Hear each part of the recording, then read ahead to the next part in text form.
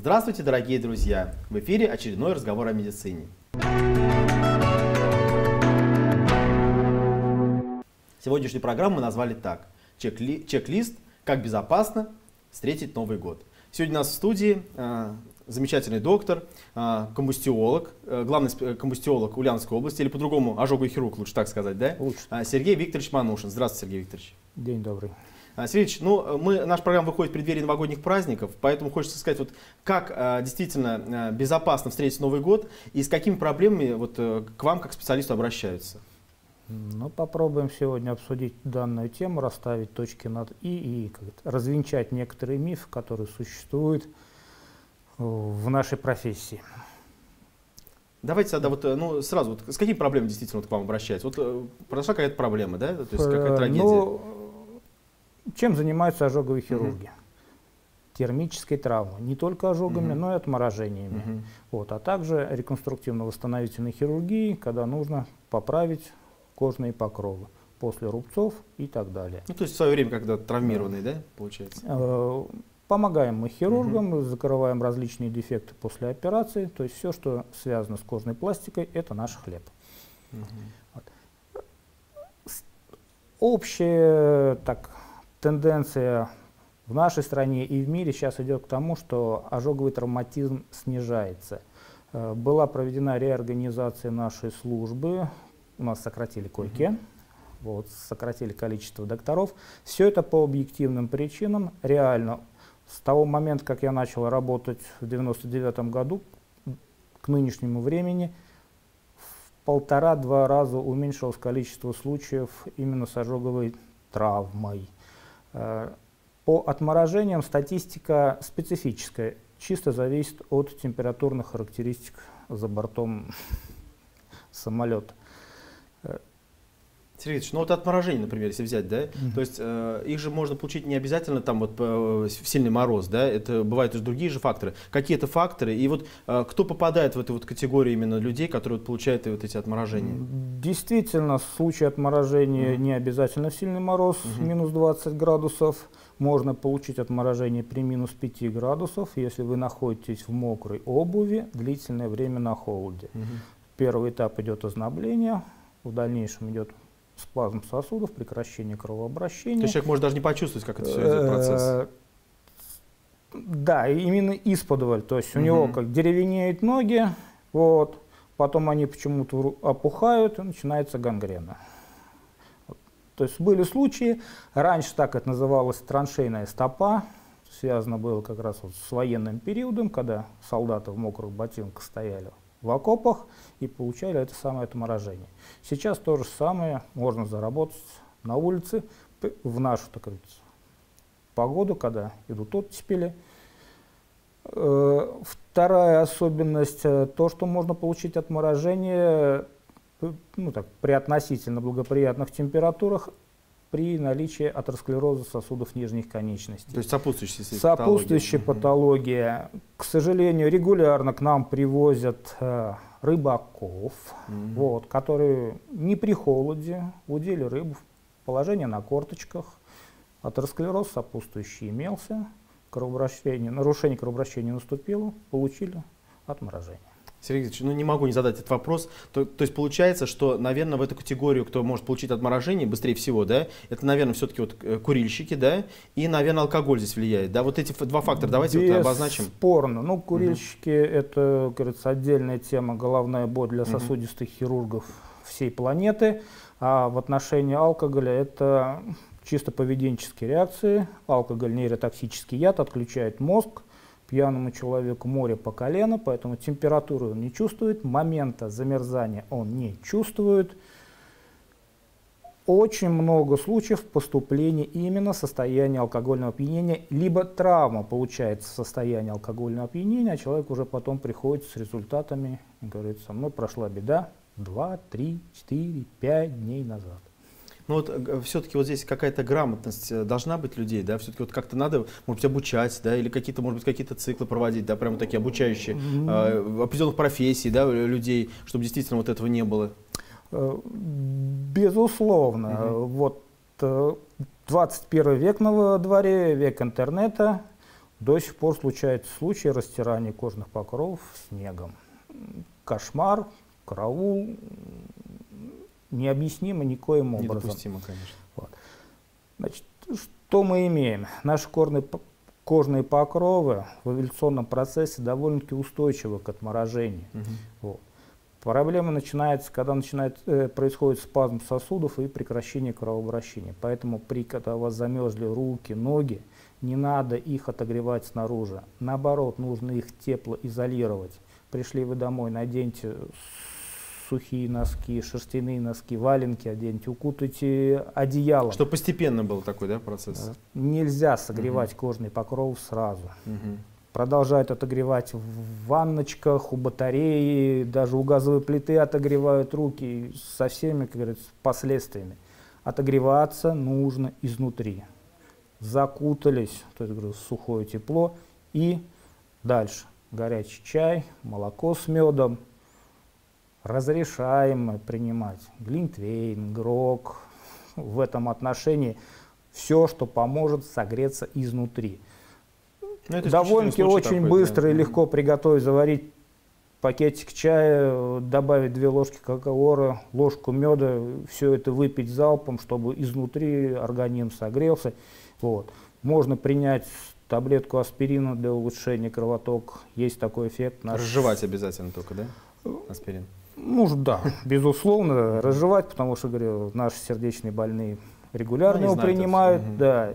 Вот, э, пару таблеток ножпы тоже не повредит в этом угу. отношении, обладая спазмолитическим эффектом. Ну и, наверное, все. Но если уже дело дошло до пузырей, милости просим к доктору, потому что тут уже, кажется, надо смотреть. Сергей ну в целом вы уже так начали говорить, да, вот о первой помощи, да, но все-таки вот давайте еще раз вот э, так вот ступенчато, какая должна быть первая помощь при отморожении? Вот первая помощь самая. То есть зашли с холода домой, Угу. Первое – теплая сухая одежда. Первое. Первое. Угу. Второе – горячий чай. Угу. Третье – таблетки аспирина, две таблетки нож. Угу. И наблюдать, наверное, да, за кожным покровами тоже Совершенно смотреть. верно, да. Э, особенностью дальше является, то есть если в течение 5-6 часов после угу. данных процедур появляется выраженный отек на руках, ногах, вот. И пузыри, и, например, там, да, тоже? Пузыри, угу. и видно, что появля... появился цианоз, вместо белых кожных покровов они стали фиолетового цвета. Быстрее в лечебное учреждение. Вот. То есть в это может быть даже амбулаторное звено, да, сначала даже может хирургу, да?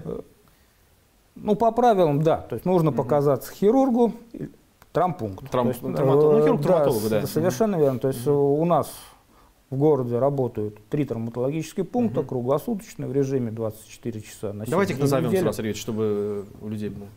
Засвияжский травмпункт на Лихачева, угу. э, в Ленинском районе. Э, ЦСВМП, да? Да. Угу. И в Заволжском районе э, в ЦГБ травмпункт э, угу.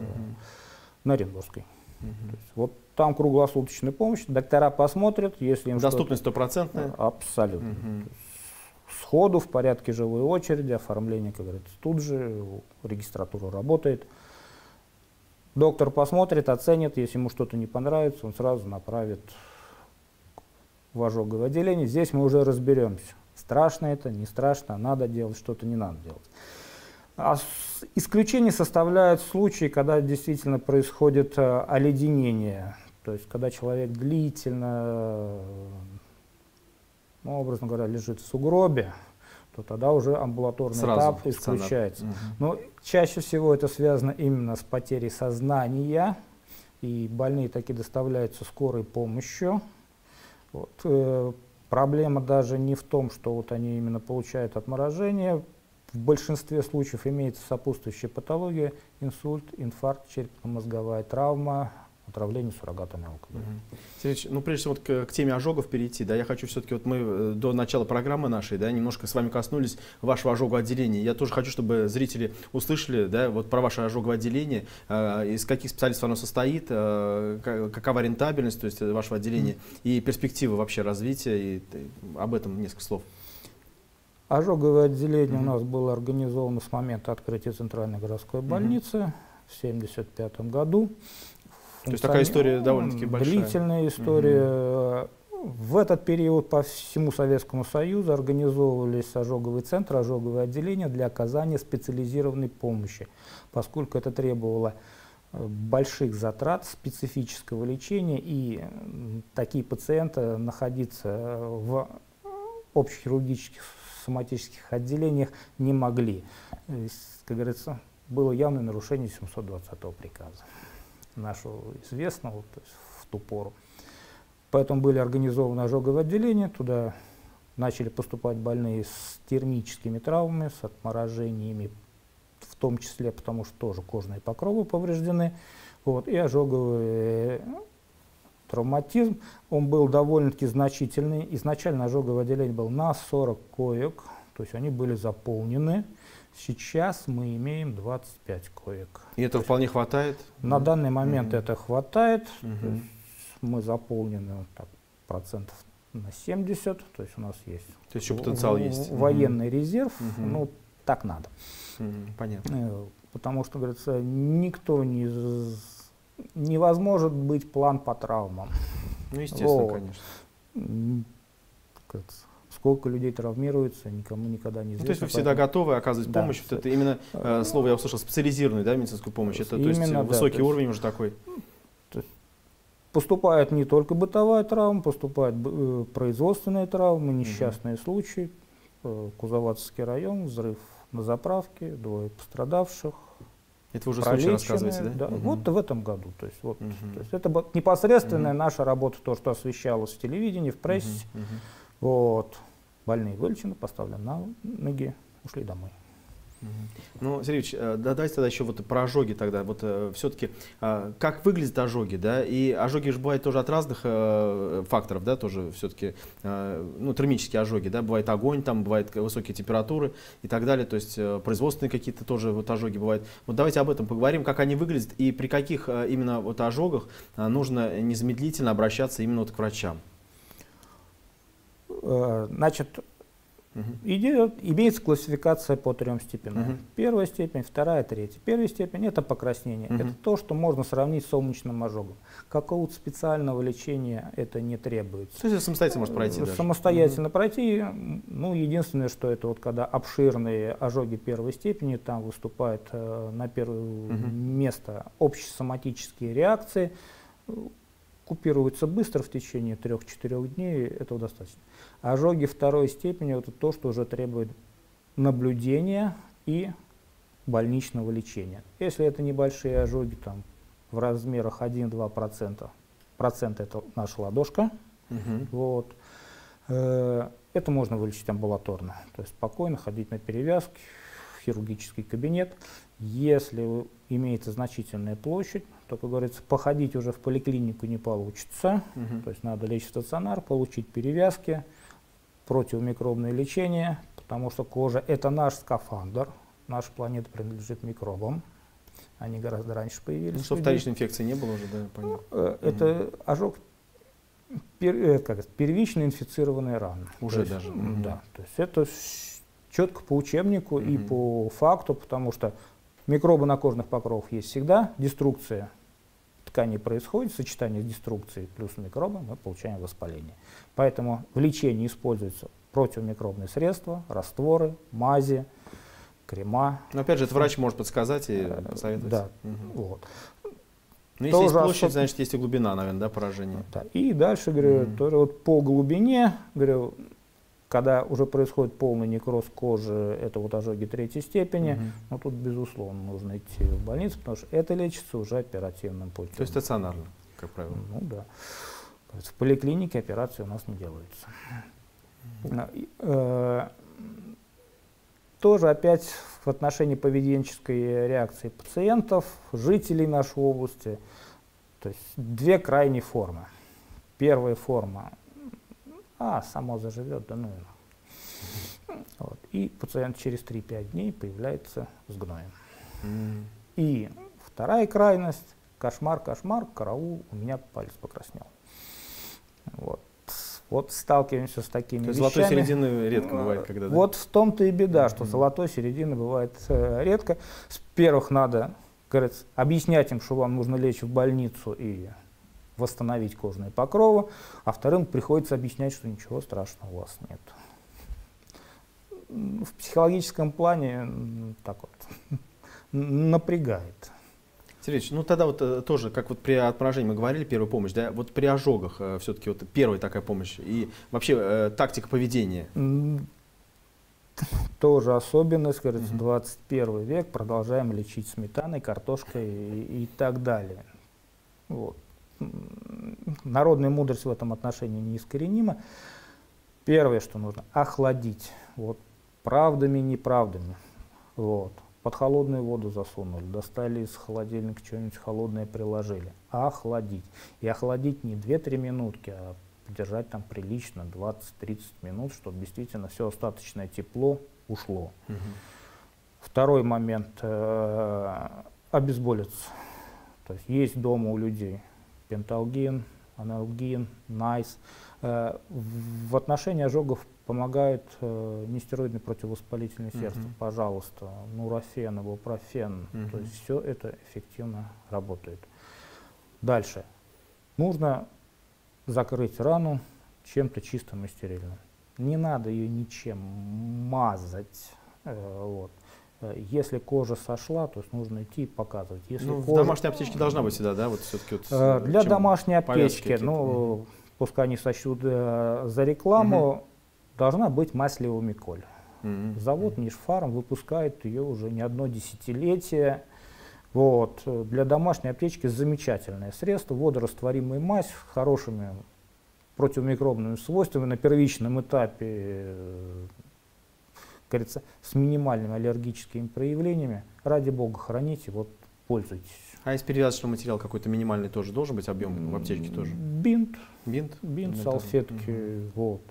Э, Водный раствор хлоргексидина желательно угу. иметь э, в этом отношении, в том плане просто промыть. То есть раны, полученные на природе, бывают загрязнены, нужно ну, промыть. Ну, хлоргексидин просто в холодильнике пусть стоит. Совершенно верно, пусть стоит. Вот. То есть то, что по большому счету сильно не портится. Вот.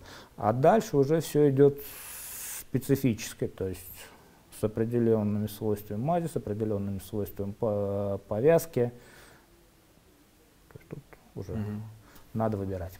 Сергеевич, ну мы все любим такие зрелищные праздники, да, какую-то вот э, яркость какую-то, да, то есть я э, подхожу к теме петарды, э, вот всякие фейерверки, да, понятно, что мы все э, их используем в Новый год, и это правильно, да, то есть но нужна же определенная техника безопасности, да, и мы не всегда ее соблюдаем, иногда забываем об этом. Вот давайте об этом скажем, какие виды травм можно от этого получить и э, вообще как вот, какая, какова должна быть техника именно вот безопасности?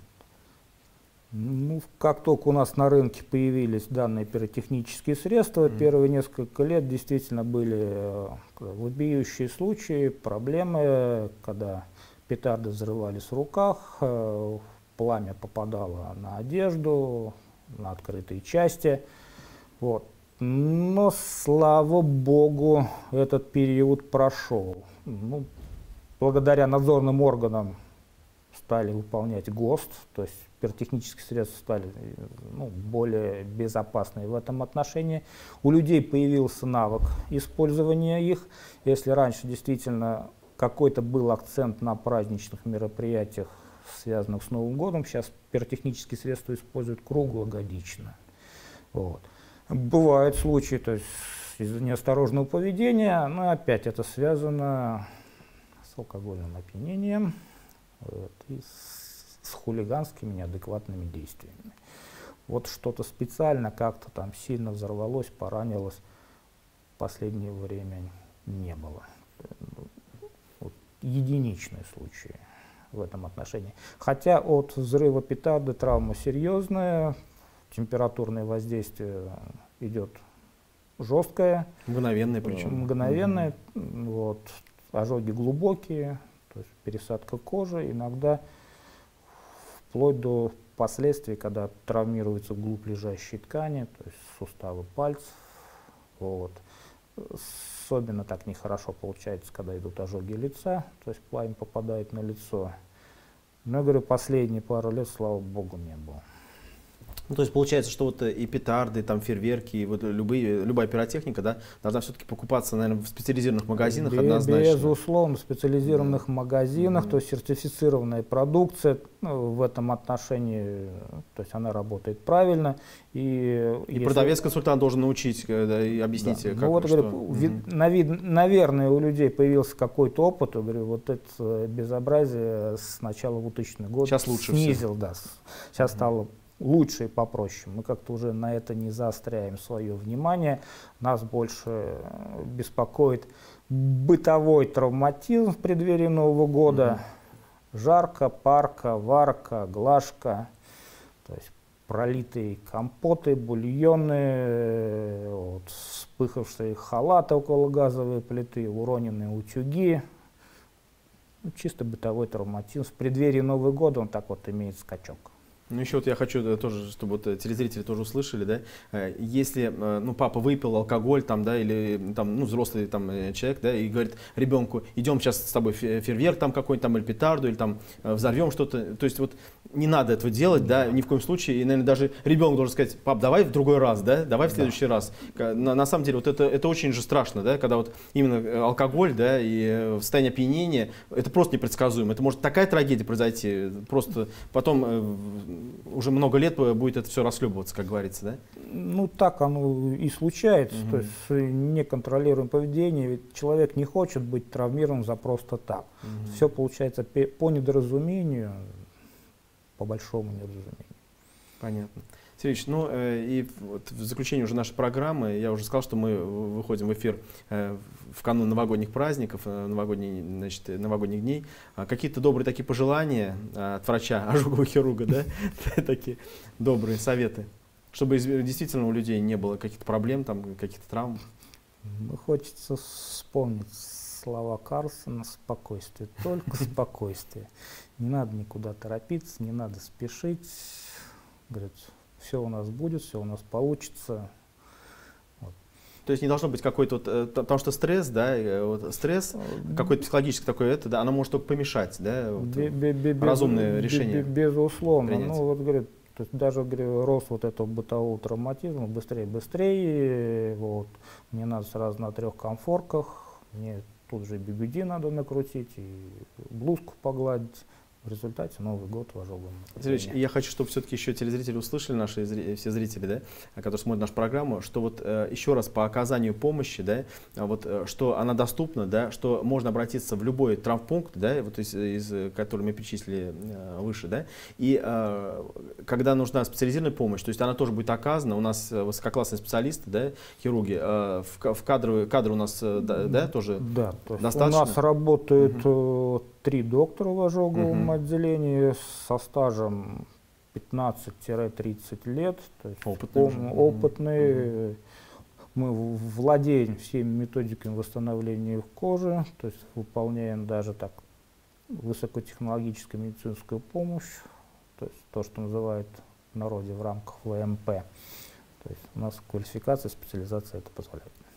И, э, Сергеевич, еще хочу вот спросить про э, взаимодействие с федеральным центром, да, тоже вот вашего ожогового, э, ва- вашего ожогового отделения тоже идет какое-то взаимодействие, тоже какие-то вот, э, может быть, телеконсультации, да? Безусловно, как говорится, мы дружим, общаемся, делимся. Нашими кураторами является Нижегородский ожоговый центр, Мгм. э, то есть столица Поволжского региона. То, что раньше э, научный институт травматологии и ортопедии был, сейчас он принадлежит университету, э, доктора помогает. Мы туда отправляем критичных больных, с которыми не можем самостоятельно справиться. Большую нагрузку они имели в ковидные времена, когда ожоговое отделение в ЦГБ было закрыто. Все тяжелые больные отправлялись в медицинный катастроф в Нижний Новгород. Ну, наверное, участие в различных конференциях, там, да, тоже, наверное, проходят конференции, форумы тоже, да? Безусловно, делимся Обмен опытом. опытом, э, И нам есть чему поучить уже, да? Да, жалуемся, хвастаемся, что получается, что не получается.